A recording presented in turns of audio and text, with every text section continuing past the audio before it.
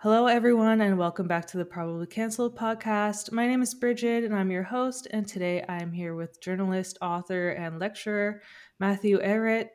And Matthew is the founder of the Canadian Patriot Review, as well as the director at the Rising Tide Foundation and senior fellow of the American University in Moscow.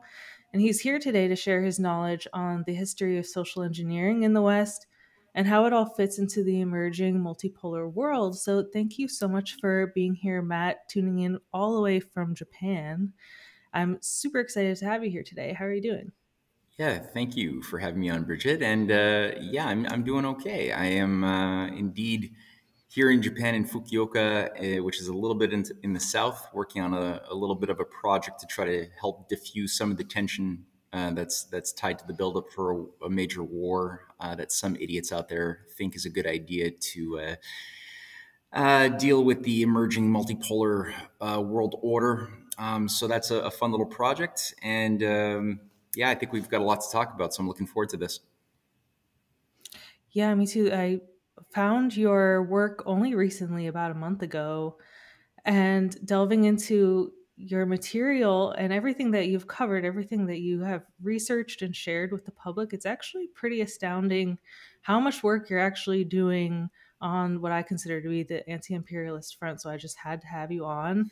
But could you please tell our, our audience who may not know who you are, the work that you do, a little bit more about yourself? Yeah, sure. Well, um, I've, uh, I'm the author of a few books. Uh, the Untold History of Canada book series, it's four volumes uh, that I started working on back in 2012. Um, that sort of helped formulate a, a, conception of thinking about American, North American history um, from a different standpoint um, that I think had a lot of value. So that that gave me a better sense of what is Canada as far as the idea of, um, of an embedded deep state which is deeply enmeshed with the City of London British intelligence, which has always been at the heart of destabilization operations against the United States um, on the part of the higher echelons of British oligarchical controllers. Um, Canada has never been a, its own country. Um, and so the, the thesis sort of went from 1776 to the present and reconstructed Canadian history from the standpoint of seeing Canada not as a sovereign nation, but rather as a geopolitical wedge or a chess piece used to create a wedge between at different moments in history the danger of a US Russia relationship and friendship, which has always been there since 1776. Um, as well as launching assassination operations and other things against uh, various American presidents who did something good to try to give meaning to the US Constitution. So then, coming out of that, I did a four volume series um, of books called The Clash of the Two Americas, published in also translated in Italian as well as Russian and soon Japanese. Um, going through a little bit more from a, a, a, U.S. perspective, what exactly is the the origin of the deep state operation, which people have come to become more familiar with in recent years. Again, going back to 1776 and seeing it as an unbroken continuity. Um, as far as what I do beyond just writing those books, um, my wife and I, we started the Rising Tide Foundation, as you pointed out, more to focus on educational, cultural uh, work as a nonprofit based in Montreal.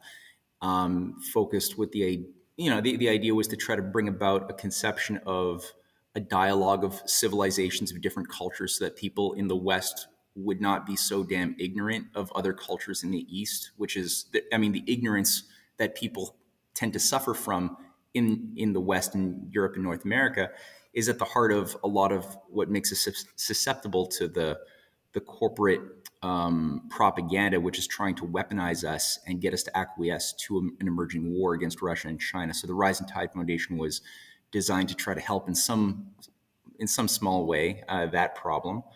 And the Canadian Canadian Patriot magazine I, I, set up in 2012 to sort of provide an economic geopolitical um, um, context to what is shaping Canada and what potential good Canada could offer the world if we changed our paradigm.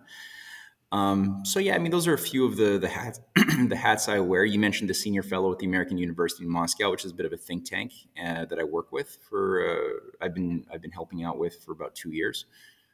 Yeah, that, that, that's a that's a few of the things that I'm that I'm up to.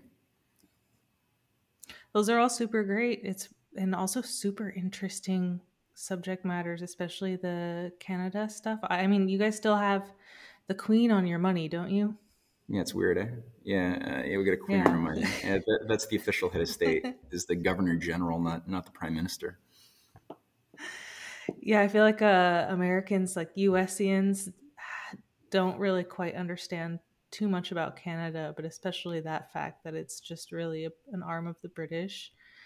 Yeah. It's super interesting to me. And then your your work with Rising Tide is really great as well. So I'm to link the website and the Telegram channel for that in the show notes so everyone can go follow because you guys are putting out really good journalism, really.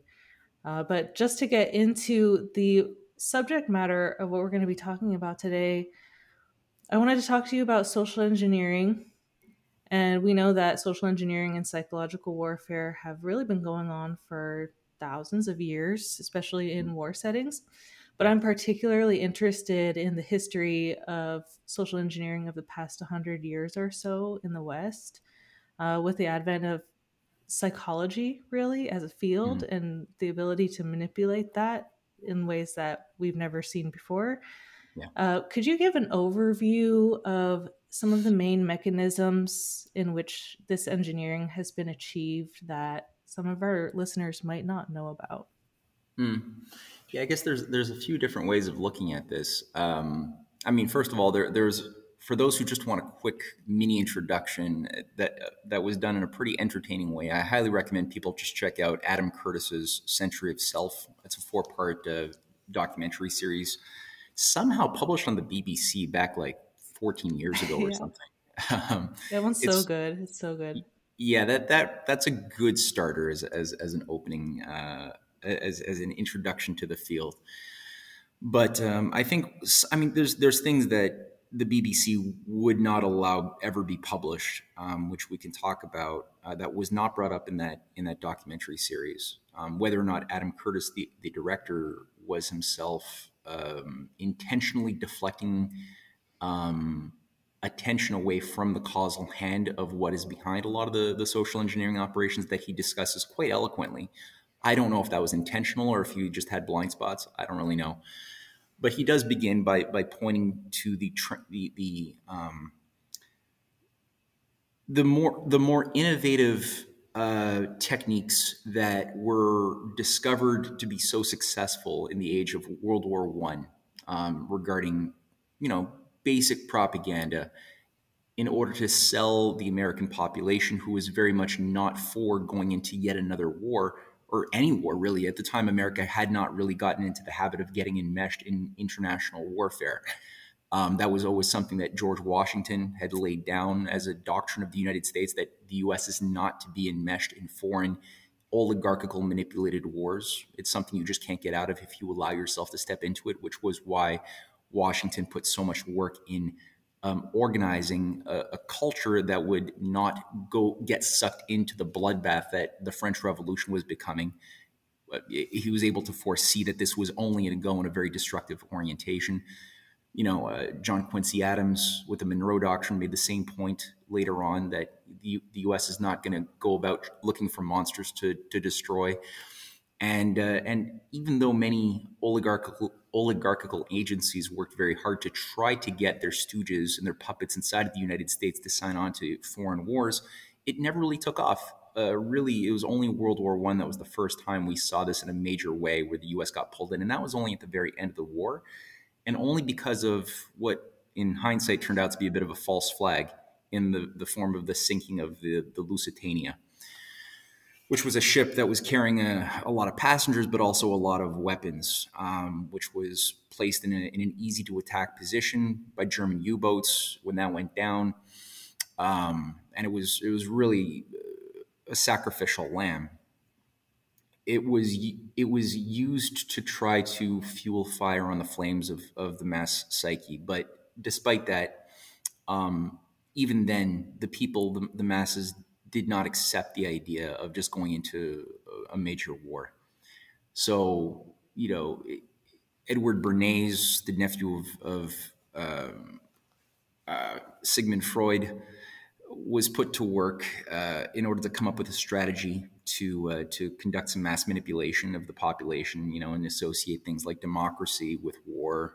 You know, if you want to fight for democracy, you should be prepared to go to war, even if it's a war that has no good basis of existence. Because even today, nobody really can say what the cause of World War One even was.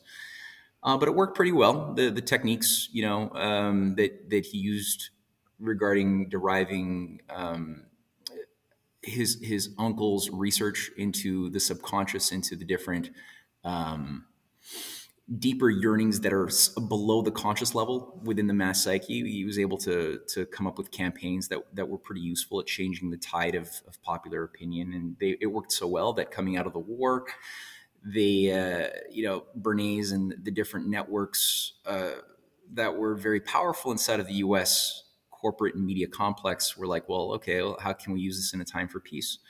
And so that was sort of the the origins of modern uh, commercial media, and, and, you know the idea of giving people or blurring the line b- between needs and wants, so that increasingly people would not know that they didn't need what they were told that they wanted by the different media conditioning that would utilize certain techniques like uh, you know deriving phallic uh, imagery from the subconscious when you were trying to sell cigarettes or something like that.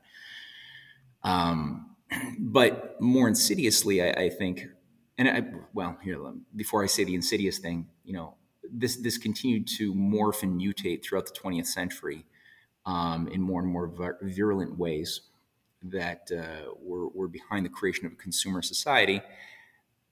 Adam Curtis does go through the um, the pop psychology of you know that emerged out of Tavistock, um, things like uh, R.D. Laing and other other uh, pop psychology gurus, who um, increasingly again thought that it was by tapping into the subconscious forces and just unleashing them that uh, that we would be able to achieve liberty. But in reality, it just basically made us ever more emotional clowns, not able to utilize our dignity, our, our reason, our conscience to get control of our immature infantile feeling states that were always kept at odds with our, our thoughts, our, our reasonable component. There was no harmony of the two.